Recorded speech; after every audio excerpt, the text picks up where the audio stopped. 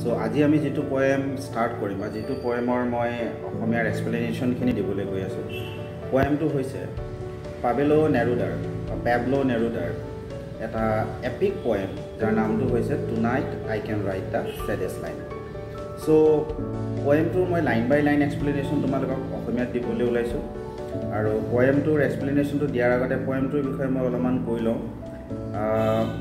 Pablo নেৰুদাই এই পয়েমটোৰ যোগেদি তেওঁৰ যি ভালপোৱা তেওঁৰ প্ৰেয়সীৰ প্ৰতি থকা যি ভালপোৱা সেই ভালপোৱাখিনিক এটা নষ্টালজিক মুমেণ্টত সেই ভালপোৱাখিনি তেওঁৰ কিছুমান শব্দৰ মাজেৰে বা লাইনৰ মাজেৰে প্ৰকাশ কৰিব বিচাৰিছে।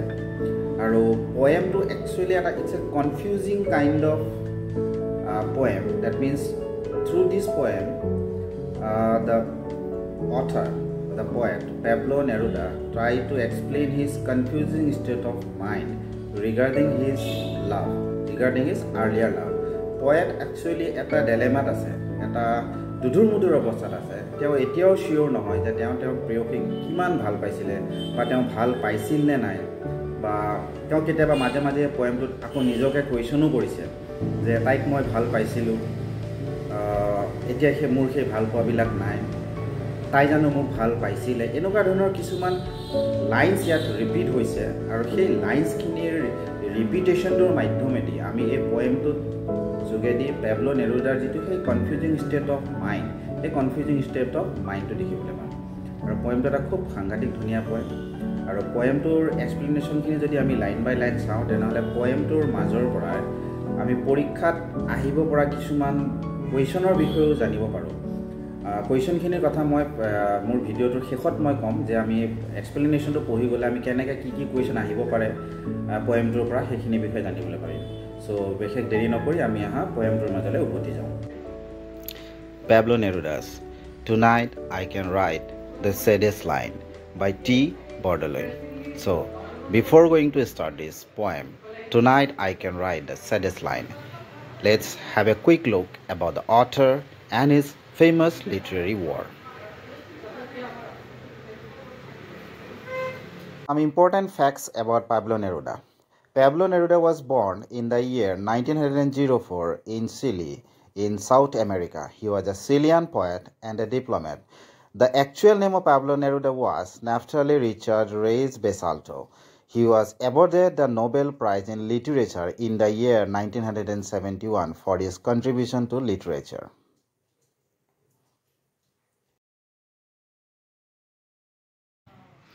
The famous literary works of Pablo Neruda includes the 20 love poems and a song of despair which was published in the year 1924, the separate rose, 100 love sonnets, winter garden, yellow heart and many more. The famous poem Tonight I Can Write the Saddest Line is picked out from his epic writing, the 20 love poems and a song of despair.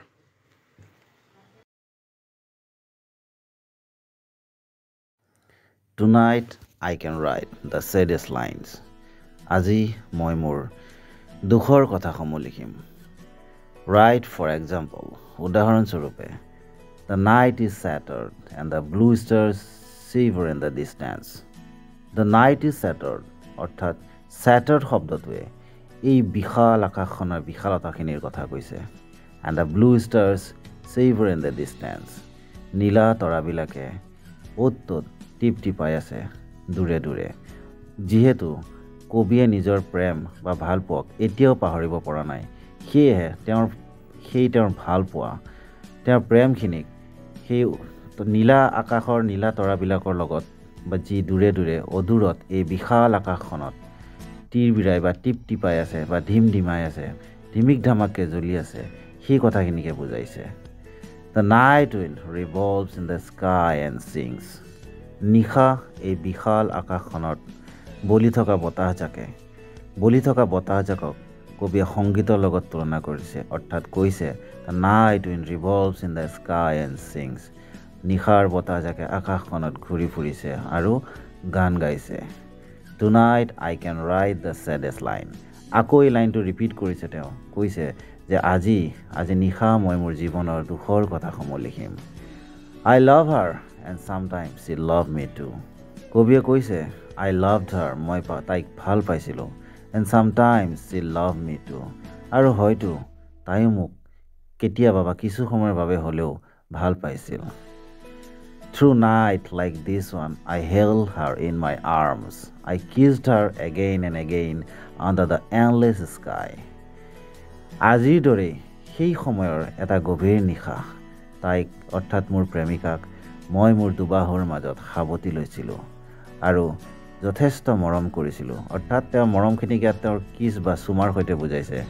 I kiss her again and again under the endless sky এই অন্তহীন আকাশখনৰ তলত তাইক মই মোৰ দুবাহুৰ মাজত সাৱটি ধৰি চুমা খাইছিলোঁ বা যথেষ্ট মৰম কৰিছিলোঁ বা বহুত মৰম কৰিছিলোঁ। পাবলো নেৰুদাই আকৌ কৈছে চি লাভ মি চাম টাইম এণ্ড আই লাভ ধাৰ টু তাই মোক কেতিয়াবা ভাল পাইছিল আৰু ময়ো হয়তো তাইক ভাল পাইছিলোঁ। How could not how could one not have love her great still আইজ কবিয়ে কৈছে তাইৰ সেই বিশাল চকুহালৰ প্ৰেমত কোন মানুহ নপৰাকৈ থাকিব পাৰে? অৰ্থাৎ কবিয়ে কৈছে তাইৰ সেই বিশাল গভীৰ চকুহালৰ প্ৰেমতেই মই পৰিছিলোঁ। কিয়নো সেই চকুহালৰ প্ৰেমত নপৰাকৈ কোনো থাকিব নোৱাৰে। Tonight I can write the saddest line the line is again repeating here মই মোৰ জীৱনৰ আজি নিশা মোৰ জীৱনৰ আটাইতকৈ দুখৰ কথাসমূহ লিখিম। To think that I do not have her কবিয়ে কৈছে। এইখিনি কথা ভাবি যে তাই বৰ্তমান মোৰ লগত নাই। To feel that I have lost her এইটো কথা ভাবি যে মই মোৰ প্ৰেমক বা মই মোৰ ভালপোৱাক হেৰুৱাই পেলালোঁ। To hear the immense night still more immense without her এই ইমেন্স শব্দটোৱে ইমেন্স নাইট বুলি যে কৈছে ই এটা দীঘলীয়া নিশাৰ কথা কৈছে। একচুৱেলি ইয়াৰ দ্বাৰা আমি এইটো গম পাওঁ যে ৰাতিবোৰ সাধাৰণতে উইণ্টাৰ ছিজনত দীঘলীয়া হয়। কবিয়ে যেতিয়া নিজৰ মনৰ মনোভাৱখিনি প্ৰকাশ কৰি এই কবিতাটো লিখিছিল সেই সময়ত হয়তো উইণ্টাৰ ছিজন চলি আছিল বা শীতকাল চলি আছিল। To hear the immense night still more immense without her এই গভীৰ এই দীঘল নিশাবিলাকৰ নিশাবিলাক তাইৰ অবিহনে মোৰ আৰু দীঘল যেন লাগে। And the verse falls to the soul like dew in the pasture pasture মানে ইয়াত তেওঁ একচুৱেলি ঘাঁহনিৰ কথা কৈছে। শীতকালৰ গভীৰ নিশাবিলাকত যেতিয়া আমি ৰাতিপুৱা কি দেখা পাওঁ ডিউ বা কুঁৱলী বা নিয়ৰ পৰি ঘাঁহনিবিলাকত টোপাটোপে নিয়ৰ সৰি থাকে। কবিয়ে কৈছে তাইৰ ভাল পোৱাখিনি মোৰ চলত অৰ্থাৎ আত্মাত সেই শীতকালৰ নিশা শীতকালৰ পুৱা ঘাঁহনিবোৰত পৰি থকা সেই নিয়ৰৰ টোপালবোৰৰ দৰে এতিয়াও সজীৱ হৈ পৰি আছে। What does it matter that my love could not keep her এইটো একো মেটাৰ নকৰে কিনো মেটাৰ কৰে যে মোৰ প্ৰেমিকাই বা মোৰ ভাল পোৱাই সেইখিনি ধৰি ৰাখিব নোৱাৰিলে। The night is starred and she is not with me এই গভীৰ নিশা বিশাল নিশাখন এই দীঘলীয়া নিশাটোত তাই বৰ্তমান মোৰ ওচৰত নাই। This is all the distance is singing in the distance my soul is not satisfied that it has lost her পিছে দূৰত এই গভীৰ নিশাখন কোনোবাই ছিংগিং অৰ্থাৎ গান গাই আছে ইন দ্য ডিষ্টেঞ্চ বহু দূৰত।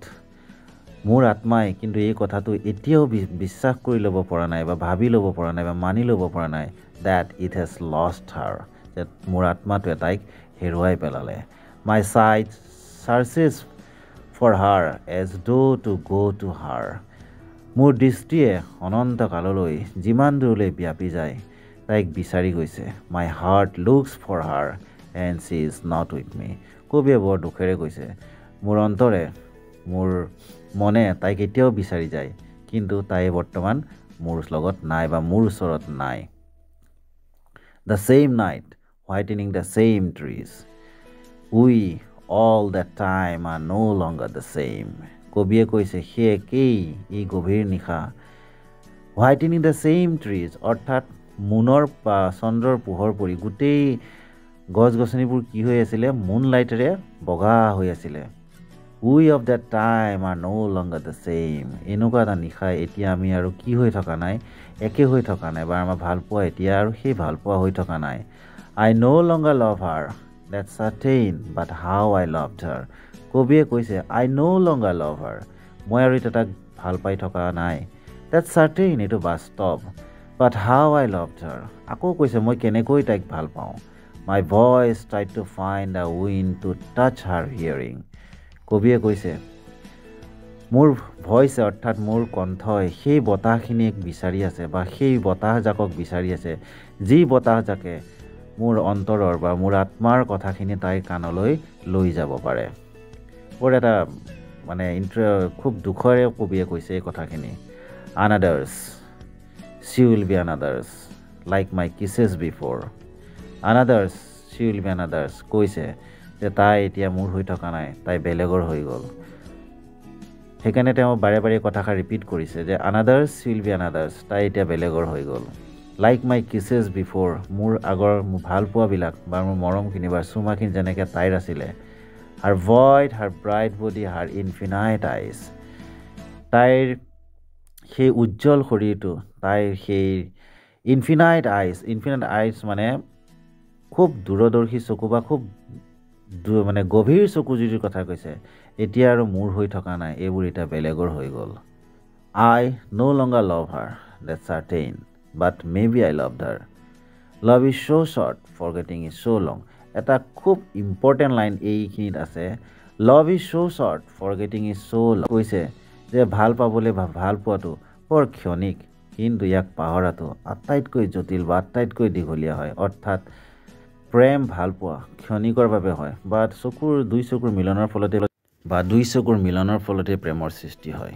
কিন্তু প্ৰেম যিমান ক্ষণস্থায়ী অৰ্থাৎ প্ৰেম হোৱাটো বা প্ৰেমৰ সেই অনুভূতিবিলাক বা প্ৰেম যিমান ক্ষণস্থায়ী কিন্তু প্ৰেমৰ অনুভূতিবিলাক পাহৰাটো বৰ দীঘলীয়া। সেইকাৰণে কৈছে?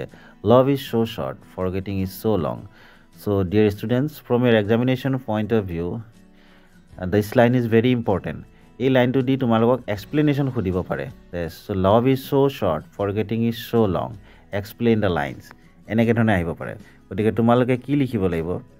লভ ইজ ছ' শ্বৰ্ট অৰ্থাৎ প্ৰেম খুব খন্তেকীয়া but forgetting is so' long কিয়নো যেতিয়া কাৰোবাক আত্মাৰে বা মনেৰে বা সম্পূৰ্ণ হৃদয়েৰে ভাল পোৱা যায় তাক পাহৰাটো বৰ কঠিন হৈ পৰে।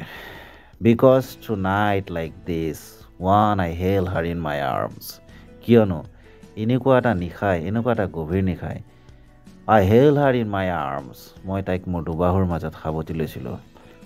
My soul is not satisfied that it has lost her মোৰ আত্মাটোৱে এতিয়াও সন্তুষ্টি লাভ কৰা নাই বা কেনেকৈ সন্তুষ্টি লাভ কৰিব এই কথাষাৰ ভাবি যে আই হেভ আই লষ্ট হাৰ যে মই তাইক হেৰুৱাই পেলালোঁ।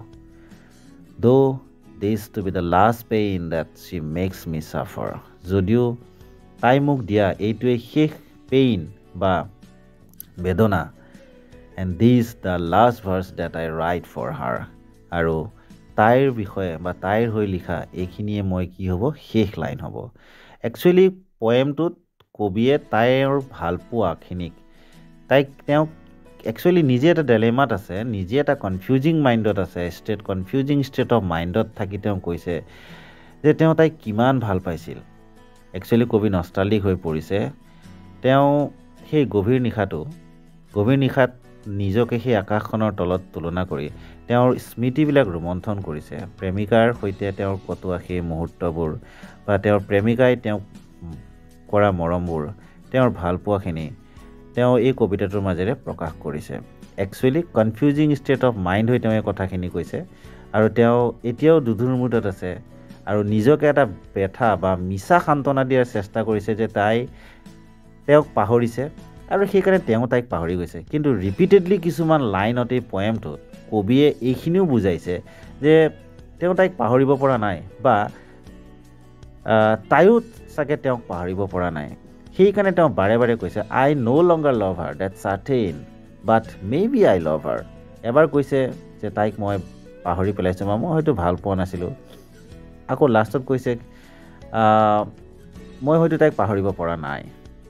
গতিকে পেবলো নেৰুদাৰ এইটো এটা খুব ৰোমেণ্টিক নষ্টেলজিক এটা পয়েম এই পয়েমটোত তেওঁৰ সেই তেওঁৰ প্ৰেমিকাৰ প্ৰতি থকা ভালপোৱাখিনিক তেওঁ খুব সুন্দৰভাৱে দাঙি ধৰিছে। এখন উইণ্টাৰ ছিজনৰ এটা গভীৰ নিশাৰ লগত এখন এখন বিশাল আকাশৰ তলত থাকি প্ৰকৃতিৰ প্ৰত্যেকটো বস্তুক স্পেচিয়েলি আকাশৰ তৰা বা এই বস্তুখিনিক উপমা হিচাপে ব্যৱহাৰ কৰি খুব এটা ধুনীয়া তেওঁ পয়েম লিখি উলিয়াইছে। গতিকে মই ভাবোঁ তোমালোকে পয়েমটো বুজি পাইছা।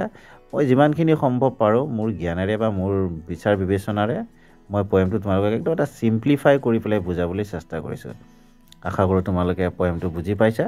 আৰু যদি কিবা জানিবলগীয়া থাকে পয়েমটো ৰিলেটেড কিছুমান মই বস্তু দি দিম আৰু ডেছক্ৰিপশ্যনত মই মোৰ নাম্বাৰটো দি দিম। তোমালোকৰ যদি কিবা জানিবলগীয়া থাকে মোক টেক্সট কৰিবা কমেণ্ট কৰিবা মই যথাসম্ভৱ বস্তুখিনি উত্তৰটো তোমালোকক দিবলৈ মই চেষ্টা কৰিম। So' thank you to all of you so' dear students hope তোমালোকে পয়েমটো যথাসম্ভৱ অলপ হ'লেও বুজি পাইছা।